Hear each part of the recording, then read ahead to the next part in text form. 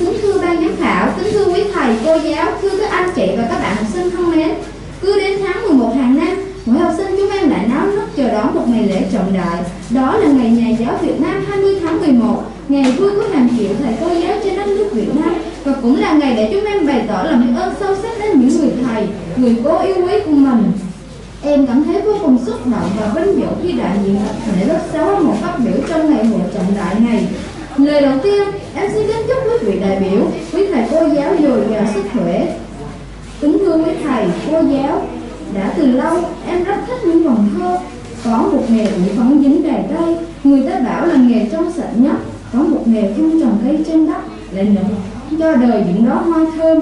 Vâng, đó chính là người giáo Người cao quý nhất trong những người cao quý Nhớ về những người thầy, người cô cứ yêu tình nguyện của mình Em xin được bày tỏ lòng tri ân sâu sắc từ thuở ấu thơ cấp sách đến trường, chúng em đã được thầy cô dạy dỗ về truyền thống cao quý tôn sư trọng đạo của dân tộc. Đó là một trong những bài học đạo đức đầu tiên để giúp chúng em nên người.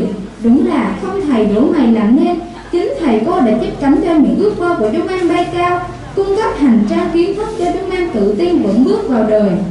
Chúng em bước vào mái trường trung học cơ sở Tâm Qua gần 2 tháng rồi Dưới mái trường nông thôn này Chúng em được khám phá ba đường thú vị của thế giới tri thức Với sự tận tụy và lòng tâm huyết với nghề Thầy cô đã truyền ngụ cho chúng em ba bài học hay Khơi cho chúng em những phép vọng cao đẹp Thầy cô luôn gần gũi với chúng em, yêu thương và độ lượng đối với chúng em. Nhờ sự bảo ban dìu dắt của thầy cô, chúng em cứ thế trưởng thành qua từng ngày tháng.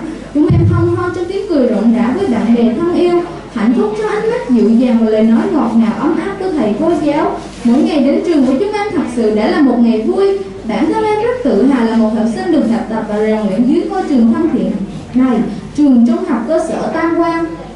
Thầy cô cứ yêu Chúng em vẫn biết Hàng đêm thầy cô vẫn miệt mài những trang đồ án Để có được những bài giảng hay cho chúng em Trong mắt học trò chúng em, chiếc bảng đen, Viên phấn trắng vừa là trí tuệ, Vừa là chữ tâm, Là đức độ của người thầy.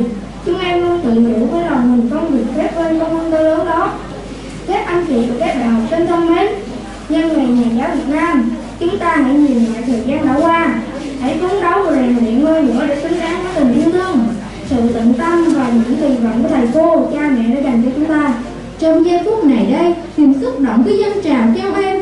Dù chúng em có nói bao nhiêu đi nữa cũng không thể nói hết được công lao của thầy cô dành cho mình. Hôm nay và ngày mai nữa, chúng em sẽ nguyện cố gắng hết mình, nỗ lực học tập và rèn luyện nhân cách để đáp lại một phần nào đó những gì mà thầy cô đã ngày đêm trong đợi. Chúng em xin trân tặng quý thầy cô giáo những điểm 9, điểm 10, đó là những bông hoa xinh xắn nhất. Một lần nữa, em xin thay mặt cho tập thể lớp 6A1 kính chúc quý vị đại biểu, quý thầy cô dồi dào sức khỏe, hạnh phúc và thành đạt. Chúc buổi lễ thành công tốt đẹp. Em xin chân thành cảm ơn.